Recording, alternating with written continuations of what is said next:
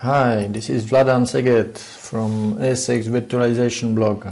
Today I wanted to show you the new HTML5 access to view desktops. So, as you can see, I can connect to the Horizon View through my HTML5 browser.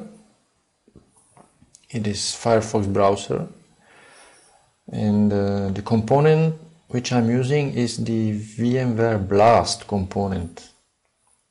You can see you can push this on the side. Here you go.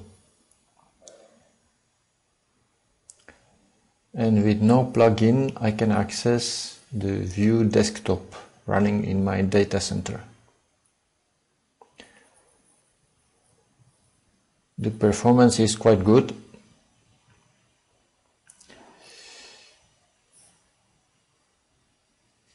And let's log off. Okay. And now we're gonna try the Windows 8 desktop because VMware View 5.2 supporting Windows 8 desktops. Here we go. No start menu. Oops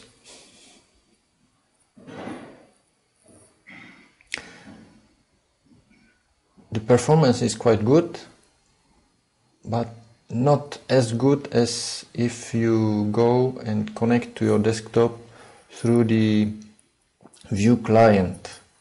So the view client is really to have the best performance when uh, accessing your VMs in your data center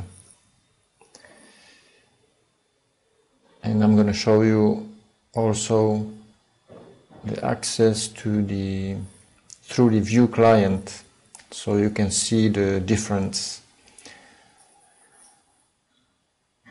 The connection starts.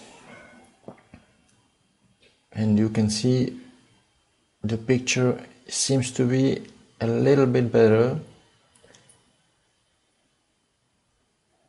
the access is very fast.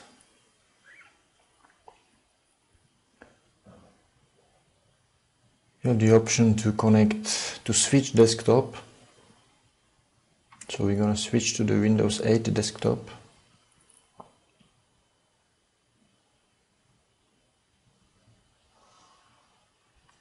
Here we go. Windows 8 desktop